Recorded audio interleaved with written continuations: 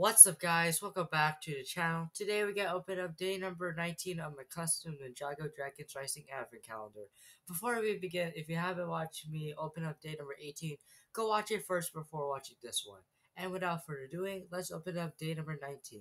And today we got a minifigure. And we got our my custom Dragons Rising Sora.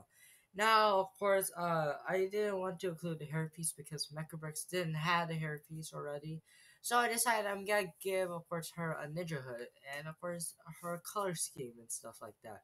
I'm really happy that uh, Mecabricks finally added a face and torso for for Sora. Unfortunately, not uh, leg printing, so that's unfortunate. And I really love her accessory because uh, her accessory is actually connected to the last day, which is of course a Photak Christmas tree, and of course Sora's accessory is of course a Photak.